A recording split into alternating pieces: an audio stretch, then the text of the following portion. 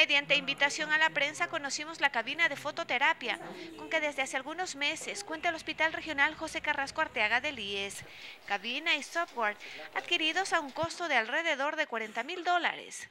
Similar equipo se lo dispondría en Quito, Guayaquil y ahora en Cuenca utilizaría rayos ultravioleta para el tratamiento de enfermedades de la piel, como la psoriasis, por ejemplo. La cabina de fototerapia se utiliza para pacientes con psoriasis, vitiligo y linfoma cutáneo T.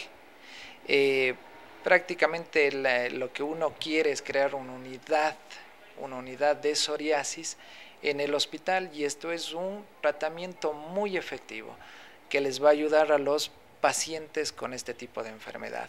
El paciente eh, lo que tiene que hacer es lo siguiente, ingresar a la cabina de fototerapia. Estos son más o menos 150 sesiones que tiene que hacerlo dos veces por semana.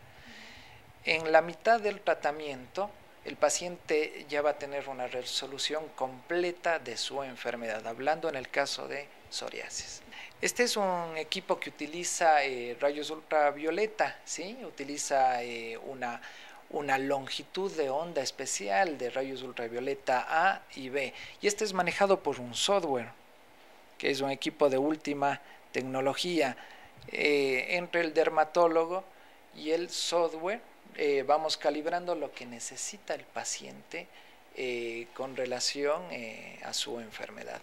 Cada sesión, eh, bueno, se inicia con 40 segundos y en cada sesión va aumentando el tiempo de exposición. El paciente va a entrar a la cabina y esto terminará inclusive con unos 20 minutos. Las citas para acceder al tratamiento con la cabina de fototerapia se las deben obtener mediante el call center, a excepción de casos especiales, pacientes con psoriasis extensa, por ejemplo se, evita el, que saque turno por medio del call center, sino que acuda transferido de alguna otra unidad. Para el dermatólogo a cargo del equipo, doctor Javier Encalada, es una adquisición oportuna para acceder a una terapéutica nueva. 15 pacientes semanales ya estarían haciendo uso de la cabina.